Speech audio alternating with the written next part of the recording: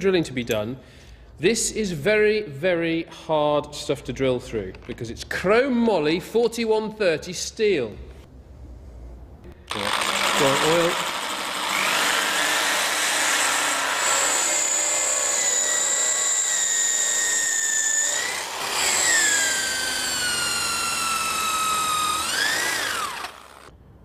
Oh dear.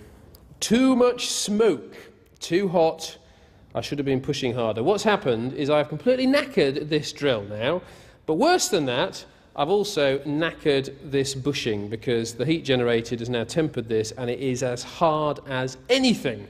And this will not cut through it and neither will a brand new drill. So I've got to sort out this hole with some oxyacetylene, heat it up, let it cool down, normalise it, we can drill it again, which we'll do later on. There's only one place for this drill, the bin. Now, I'll drill the ones at the back then. Rolex.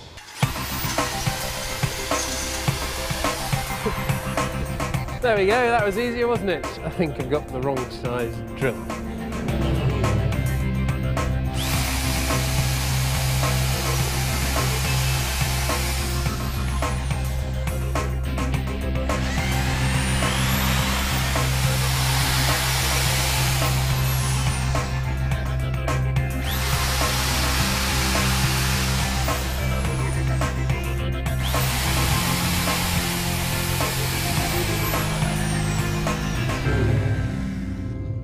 You know, I was very disappointed about the fact that I'd messed up this bushing, but there's a good side to this because I now get to play with oxyacetylene. Oh, yes!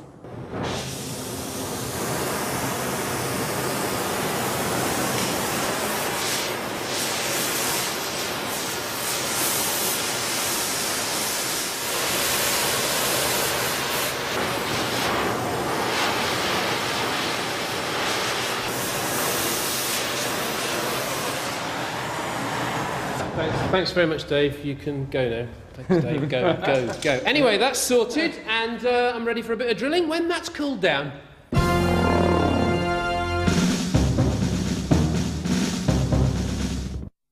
Finally, all the holes are drilled, so we can now put the airframe, thanks to a bit more help from Dave, onto the landing gear without knocking the landing gear out of level. It just sits on the rear landing gear like that, and then should drop down. Thanks, Dave. Pull like that. Now, the airframe itself bolts onto the landing gear in four places. At the front, the bushings that I had to drill and do the oxyacetylene with, it'll bolt through there. And at the rear, it bolts through this plate here onto this bracket that's welded onto the landing gear itself. It's very important that when this is attached and this bolt is put through this hole and it's all bored out, that these don't make contact because otherwise that's going to put a major stress line on the landing gear. So this will actually have to sit slightly higher, something like about that. Both sides have got to be drilled through and bolted, but I've got to make absolutely sure that up here this cross member is completely and utterly level. I wonder what this is for. The tail boom is made of aluminium. It's incredibly light but very, very strong, thanks to the fact that inside here are four bulkheads connected by stringers. What I've got to do with this is attach it to the airframe with three major adjustments. One is to get it absolutely in the dead centre line of the ship, for obvious reasons. The second is to get it at the right angle to the horizontal. And the third thing is to rotate it so it's in exactly the right position to fix it to the brackets that attach it to the airframe. So, first job is to get the little end over that little notch in that wooden contraption over there. Yes, that's what it's for. Yeah, have I missed one? Oops. That's all right. Just check the on this side. There and there. It's quite fiddly, I tell you. That is looking something like that. There's lots of adjustments that are required here. That's fine. That's not going anywhere. The next job is to set up my centre line that lines up with the plumb bob at the front of the airframe and the plumb bob here. The plumb bob at the front there is bang in the middle of the front of the airframe. My second plumb bob is here at the back of the airframe. what I've done is measured across the tube here and then put a mark so I know the plumb bob's hanging in exactly the middle. So that's that one. This string marks the centre line of the aircraft. But the tail boom plumb bob here is way over to the pilot side. What I need to do is simply slide the tail boom over until the bob is right over the string. There we go. Fantastic. So that means now the centre line of the tail boom is in line with the centre line of the airframe. So the next job is to check the angle of the tail boom. Boom itself needs to be two and a half degrees further away from horizontal than the square section tubes on the airframe. They were at four and a half degrees, so four and a half plus two and a half is seven. So this needs to be seven degrees. It is currently 7.6 degrees. I'm going to take it off, otherwise it'll fall off. And very carefully, just need to drop this down and just keep checking it. Two.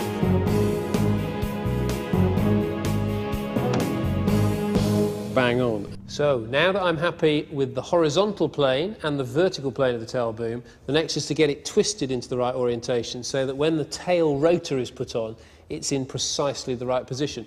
The way to do that is in this bulkhead here, this hole marks top dead centre of the tail boom and the one down here is bottom dead centre.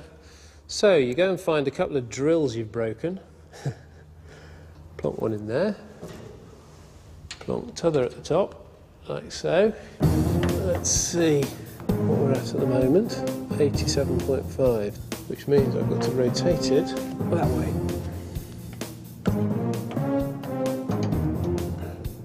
Bang on, 90. Superb stuff. Now, I've got to repeat exactly the same procedure with the bulkhead right at the end of the tail boom, and then go around the whole lot and make sure everything's right before I can start drilling.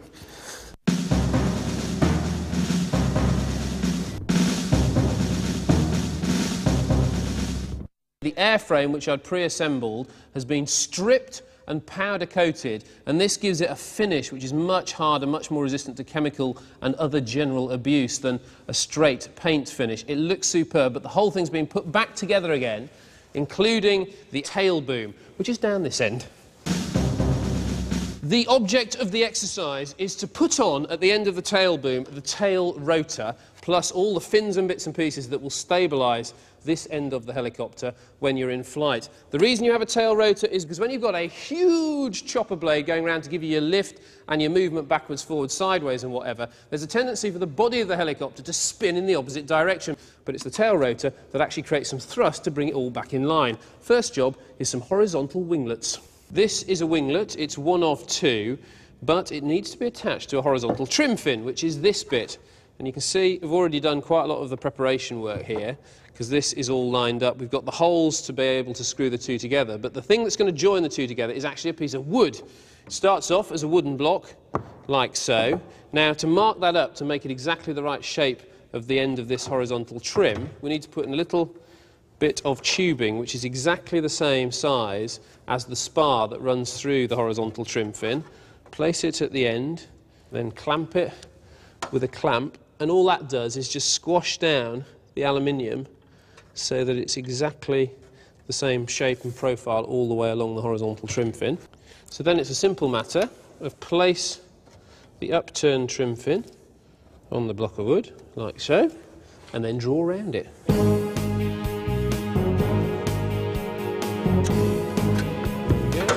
Here. This is a bandsaw, a bit of kit that I'm not that experienced with, so this should be very entertaining. Fortunately, I've got lots of bits of wood, and a reasonable amount of time. So, where's it switch on? Down here. Wish me luck.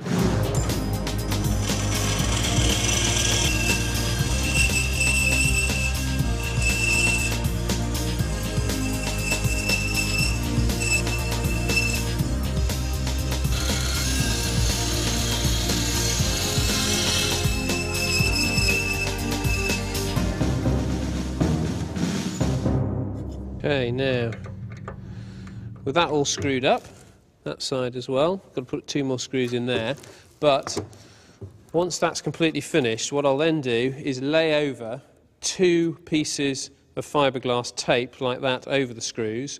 Then it's a matter of attaching them to the tail boom.